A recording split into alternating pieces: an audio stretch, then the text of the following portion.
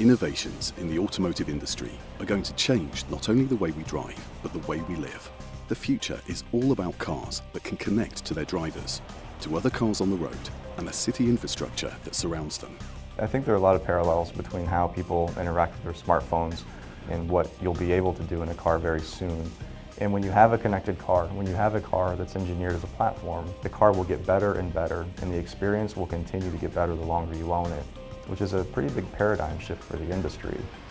The sector is at the moment completely rethinking the way uh, they design cars or the way they produce cars. All this innovation uh, is uh, all about people and it's all about defining a brand new experience for, for drivers and for passengers. Dassault Systèmes has been working with uh, car manufacturers, uh, suppliers for many years we use a hyper-realistic environment where people can put themselves in a fully immersive environment so engineers can use that to simulate exactly the behavior of the car system. So Dassault Systèmes smart, safe and connected car experience help manufacturers to design autonomous car.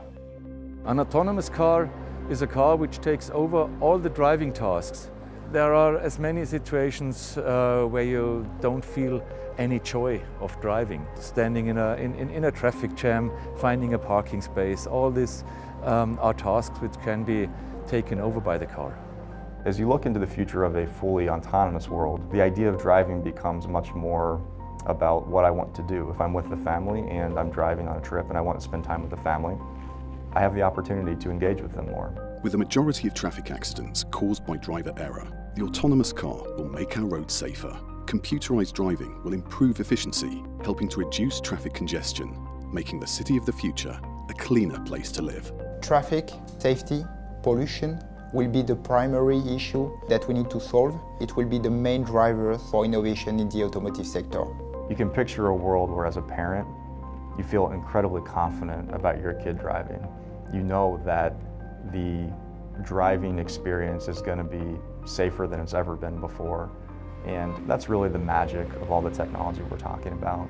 It's exciting and my son is going to have a blast when he's 16 and I'm also going to know he's going to be safer than I ever was when I was at his age.